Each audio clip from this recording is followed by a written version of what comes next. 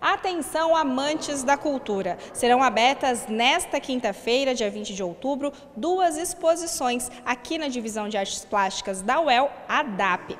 As exposições ficam abertas para a visitação do público até o dia 9 de dezembro. A primeira exposição chama-se Sobre o Tempo entre os Pesos e Voos das Materialidades, composta de pinturas e exposições de objetos.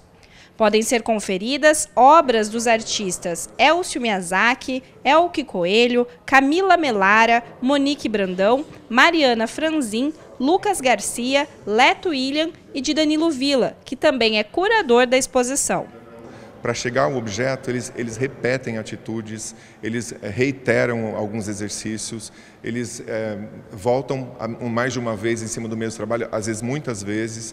Então, essa repetição, essa obsessão na constituição do objeto e, e o resultado disso ser ainda uma forma que transborda uma espécie de. Eu acho que tem alguma coisa de afeto nesse lugar, sabe? E aí era isso que me interessou, para fechar a curadoria com esses nomes. Já na pequena sala central da DAP está a exposição Breve Discurso Amoroso, com obras de Anderson Monteiro, Letícia Albanês, Meire Dutra, Nicole Venturini, Talita Xavier da Silva e Thaís Nori Corneta. Talvez tenha uma relação muito próxima com coisas que a gente relaciona para guardar dentro de livro, como se fossem pequenos bilhetes, como se fossem anotações em cadernos íntimos e que tem passa por esse lugar dos afetos, de como a gente pode se relacionar com o outro de forma amorosa. Eu acho até que tem uma, uma sugestão, talvez mais da experiência para quem vem aqui ver, para sentir essa coisa enquanto estiver ali dentro e, e talvez um respiro.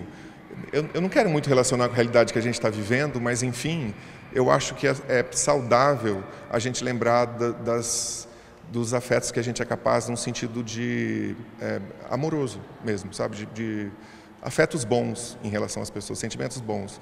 E foi um pouco isso que gerou esse grupo de trabalhos aí. A abertura das exposições é nesta quinta-feira, a partir das sete e meia da noite. No evento, alguns dos artistas estarão presentes e vão falar um pouco sobre seus trabalhos. A DAP fica na rua Pernambuco, número 540, no centro de Londrina.